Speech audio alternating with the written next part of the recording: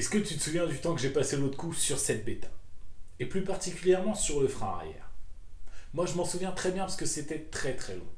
Et le pire, c'est qu'en descendant la moto du lève-moto, donc la roue tournait dans le sens inverse du sens de la marche, regardez.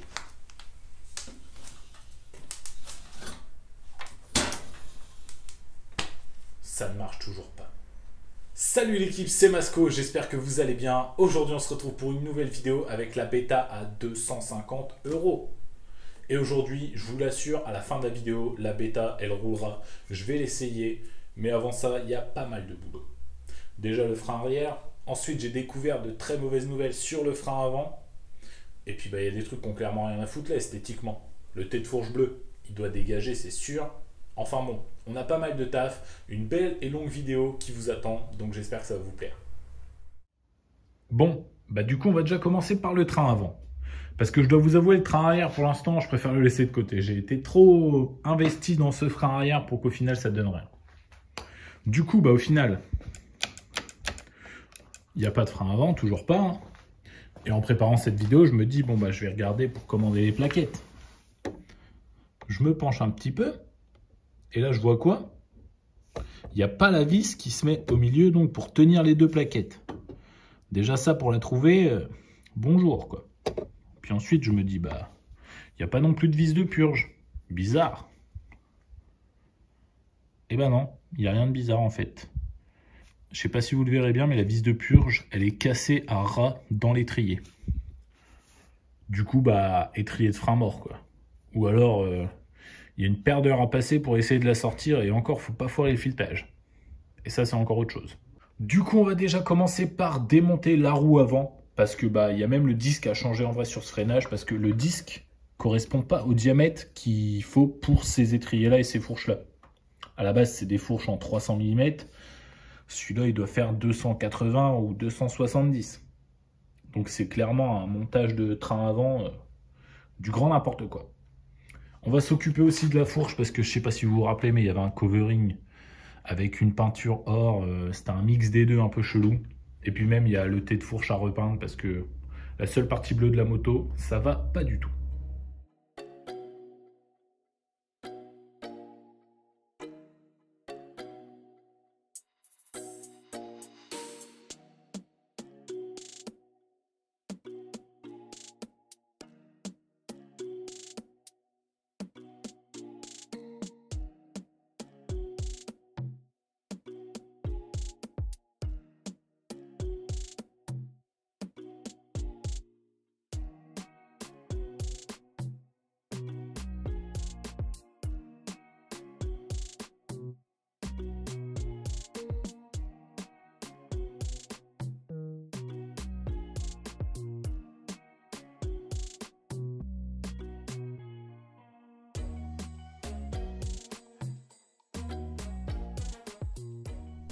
Maintenant que j'ai sorti le train avant de ma bêta, je vais commencer par changer le disque avant parce que là c'est un 260 mm et sur cette fourche là il faut un 300. En clair ça allait pas du tout quoi. Par souci d'économie je vais réutiliser l'ancien disque de la HM. Il est en bon état, il est plutôt beau en plus. Donc on va remettre ce disque là sur la jante de la bêta et on va remonter la jante une fois que j'aurai fini avec la fourche.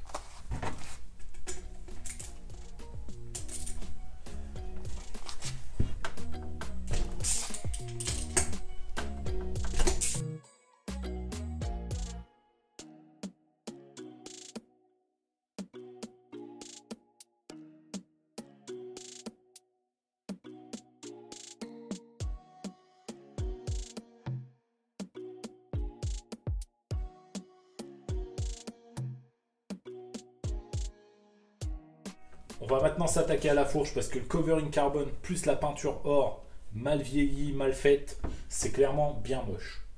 En plus, je sais pas trop ce qu'il y a en dessous, dans quel état est le tube de fourche. Mais bon, j'ai racheté un rouleau de covering carbone. Je me suis dit que refaire toute la fourche en carbone, ça pourrait être stylé. Parce que bah la poncer entièrement ou faire retirer la peinture, je sais pas ce que ça donnerait. Donc je pense que c'est la solution la plus facile la plus rapide et la moins chère aussi parce que faut qu'on n'oublie pas le budget quand même.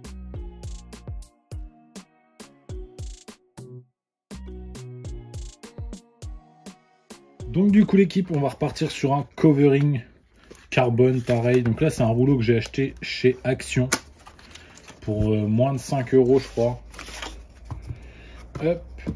Et je vais tout de suite commencer par vous donner une petite astuce pour que votre covering il tienne dans le temps. Donc avec un petit tournevis plat comme ça, on va venir doucement essayer de soulever le cache-poussière. Hop, parfait. Là, vous devez vous dire pourquoi je retire le cache-poussière. Tout simplement parce que mon covering, là, ouais, la longueur, c'est vraiment euh, pile poil comme il faut.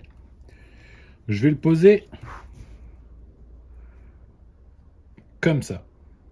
Et cette petite partie-là que j'aurai en trop, je vais venir la rabattre à l'intérieur. Et après, je remettrai mon cache-poussière, ce qui me permettra de jamais avoir de covering qui se décolle en bas. Enfin bon, je vais mettre mon covering sur le premier fourreau et je vous montre tout de suite le résultat.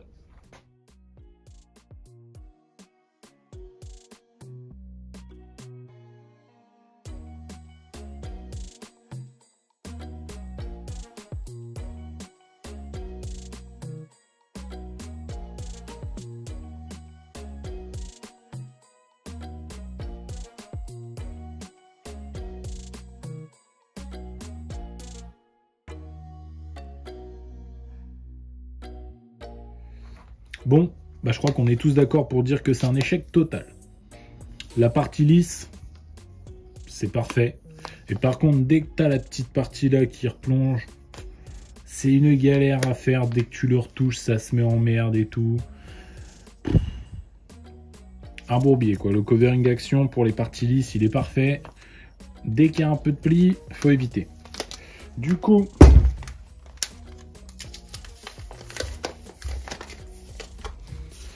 On va tout de suite retirer ça.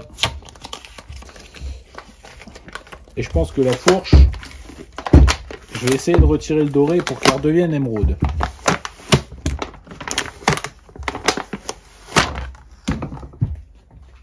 Comme on a pu le voir, remettre du covering carbone sur la fourche, c'était clairement pas une bonne idée.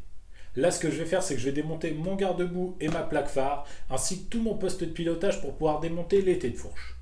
Une fois les têtes de fourche démontées, je retirerai la peinture des têtes de fourche et de mes deux fourreaux de fourche.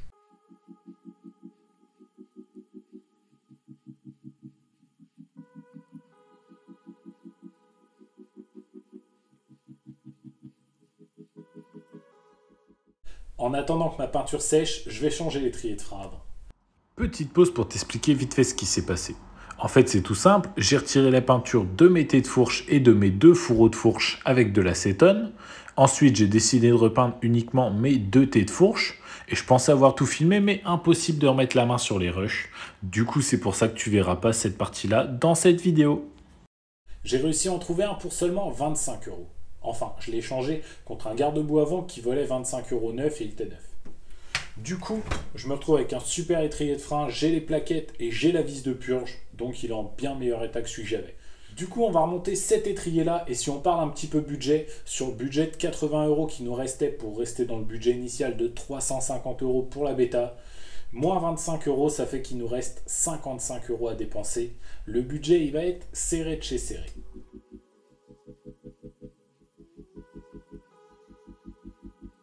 Bon bah c'est bon l'équipe, j'ai trouvé le titre de la vidéo. Ça sera la vidéo aux 1000 rebondissements ou la bêta aux 1000 rebondissements parce que là, j'en ai marre. Plus ça va, plus je découvre des trucs de malade. Regardez. Donc en fait, j'étais tranquillement en train de démonter mon étrier de frein avant. Donc celui sans plaquette et avec la vis de purge cassée. Et là, je m'aperçois pas quoi.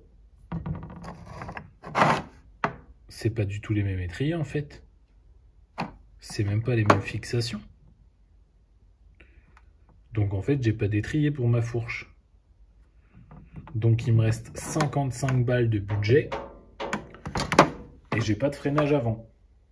Et là, je me dis, ça commence à être très très très compliqué. Du coup, la seule solution qui va s'offrir à moi, je crois, ça va être de remonter une autre fourche. Ça sera plus une fourche Marzocchi inversée, Oula, j'ai du mal à le dire. Ce sera plus une fourche Marzocchi inversée. ce sera l'ancienne fourche de la CPI. Bon, petit point positif quand même, il y a un étrier de frein un peu doré. Ça va aller avec la bêta. En vrai de vrai, l'équipe, je suis dégoûté. La bêta, je la trouvais vraiment super avec sa fourche inversée, mais là, ça va pas être possible de la remonter dans le budget. Du coup, bah, la seule solution, comme je vous ai montré, c'est de monter la fourche de CPI qui a juste ici. Ça va lui retirer de son charme, mais bon, c'est comme ça. J'ai pas le choix.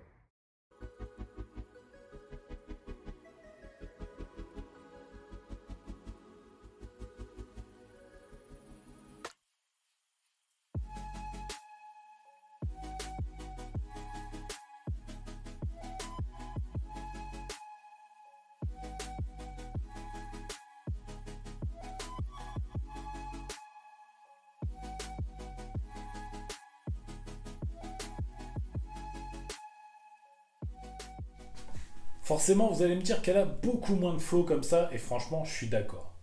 Mais entre le flow et le freinage, j'ai choisi. Ça sera le freinage, malheureusement. Du coup, fourche de CPI montée, elle s'est adaptée parfaitement. Donc là, j'ai peu eu de modif à faire. Il me reste 2-3 boulons à serrer et après, je vais mettre la roue dorée dans la fourche de CPI. Par contre, avant, bien sûr, il faut que je repasse en disque 260. Ouais, cette vidéo, moi aussi, j'ai l'impression que c'est genre un pas en avant et deux pas en arrière. Mais bon, c'est comme ça, pour respecter le budget, j'ai été obligé de repasser sur cette fourche. Mais vous inquiétez pas, j'ai déjà un petit truc dans la tête pour la fourche Marzo, ça devrait vous plaire. Bon bah c'est parti pour démonter le disque avant. Ouais, encore une fois. Par contre là, je vais pas remonter le disque que j'ai eu d'origine avec la moto. Je vais monter un disque avant Sherco. Un disque que j'avais en stock encore une fois. Et comme à l'arrière c'est un disque arrière Sherco, je me suis dit autant mettre un disque Sherco à l'avant aussi. Histoire qu'il y ait au moins les deux disques qui soient harmonieux.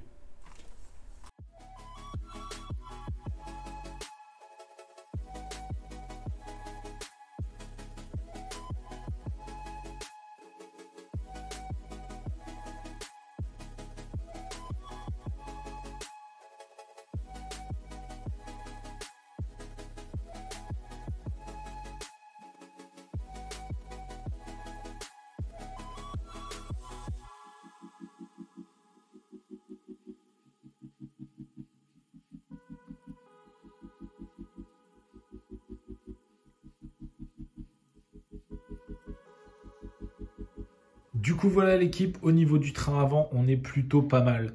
Du coup, bah, malheureusement, j'ai dû remettre cette fourche-là. Après, bah, c'est bien, oui et non. Au moins, la fourche est en super état. Joints spi en super état.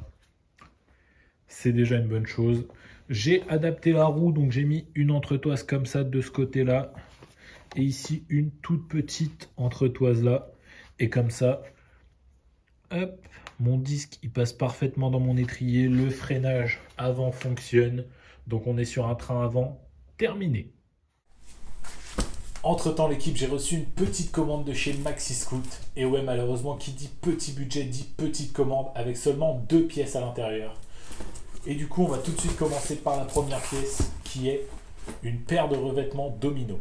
C'est vrai que comme ça, ça peut paraître pas être la pièce la plus urgente à changer sur la moto, mais le truc c'est que sur ces revêtements de poignée là, eh ben en fait il manque une partie et du coup c'est hyper désagréable à tenir. Et du coup je me suis dit bon bah 10 euros pour une petite paire de revêtements domino, faut mettre le prix. Et ensuite la deuxième pièce, c'est une plaque phare noire YZ. Parce que celle que j'avais, elle avait été repeinte et elle était clairement super mal repeinte, contrairement à tout le kit carénage qui est nickel. Cette plaque-là, elle était super mal faite. Du coup, une petite plaque noire YZ, ça fera pas de mal à la moto. Pour la commande Maxi Scoot, j'en ai eu pour 35 euros. Ce qui fait que sur le budget initial de 350 euros, il reste seulement 20 euros l'équipe. Et ces 20 euros, j'ai décidé de les dépenser dans un système de frein arrière. Malheureusement, comme je vous ai montré au début de la vidéo, le système de frein arrière qui est monté actuellement sur la moto ne va pas. Et du coup, bah, j'ai acheté celui-ci. En plus, l'étrier est doré. Normalement, ça devrait passer. J'espère, parce qu'avec l'étrier doré, ça ferait hyper stylé. Et puis, bah, de toute façon, après, le budget, il est mort. Donc, euh, c'est vraiment mon dernier recours, cet étrier. Ce que je vais faire là, c'est que je vais remonter mon garde-boue, ma face avant, remettre le mètre cylindre qui est raccordé avec l'étrier de frein. En clair, commencer le remontage au niveau de la partie avant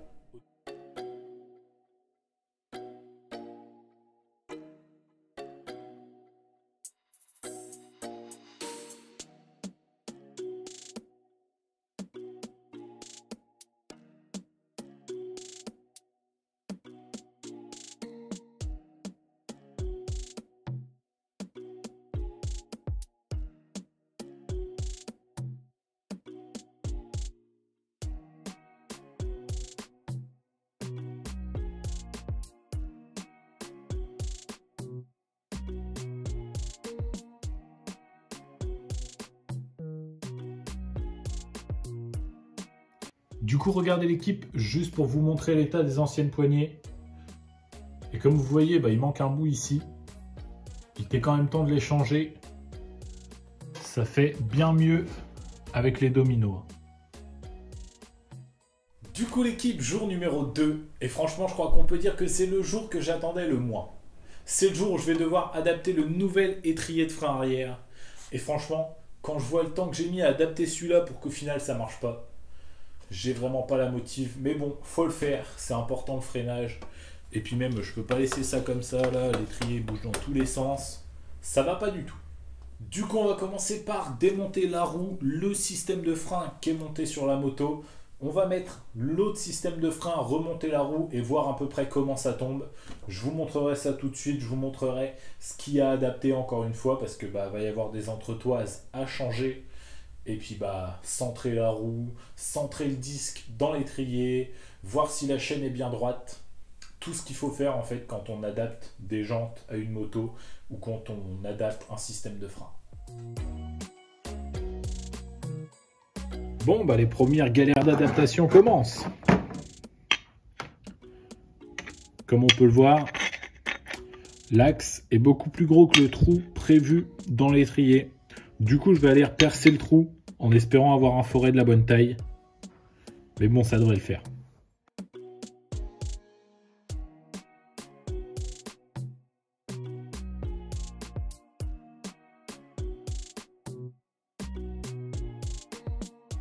Et eh ben franchement l'équipe, vous voyez pas là, mais j'ai le smile.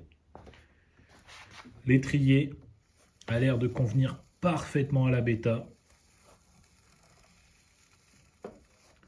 Là, comme on peut le voir, le disque, il passe bien au milieu. L'étrier, il est bien adapté. Et de ce côté-là, j'aurais juste une entretoise à mettre. J'avais mis celle-ci avec l'autre étrier et bah, comme on peut le voir, je pense que ça serait pas trop mal de remettre la même. Du coup, je vais finir de remonter ça tranquillement. Et puis après, je pense qu'on va faire une petite purge. Je pense garder le maître cylindre doré. Parce que celui-là, bah, faut, euh, pour remettre du liquide, il faut le mettre comme ça à chaque fois et tout. Et c'est un peu compliqué. Puis même le doré va bien avec la moto en vrai. Donc je pense laisser celui-là. Mais franchement, Très bonne nouvelle, l'étrier il passe super bien.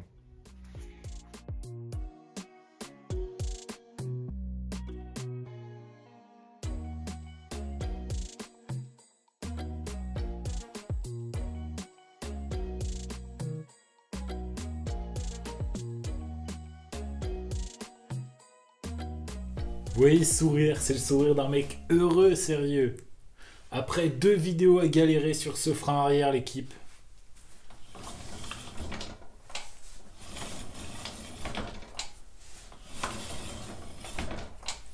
On a enfin un frein arrière sur la bêta.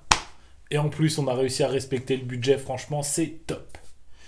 Bon bah maintenant, on va passer au remontage final. Le réservoir, les 2-3 carénages, la chaîne. 2-3 petits détails quoi. Et on peut enfin essayer la moto.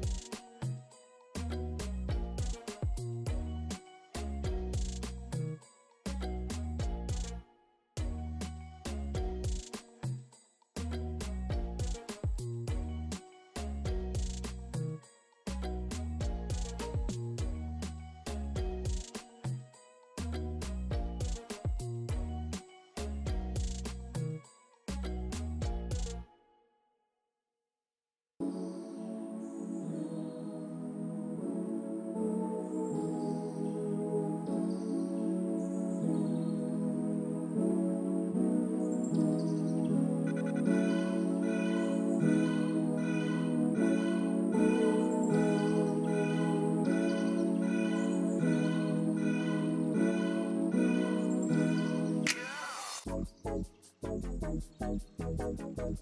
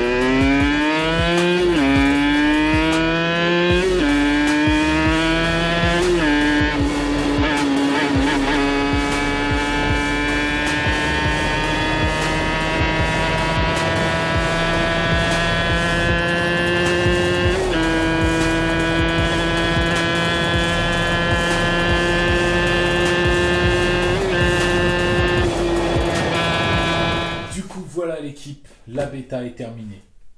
Et franchement, je suis extrêmement content. Même sans la fourche inversée, je trouve que la moto, elle est super belle. Ok, elle n'est pas parfaite de chez parfaite. Il n'y a pas de faisceau électrique. Mais franchement, pour 350 euros, avoir une moto comme ça, c'est incroyable. Je suis super content. Petit kit 50 top perf qui marche plutôt pas mal. Il y a quand même 2-3 réglages à peaufiner, mais c'est déjà pas mal.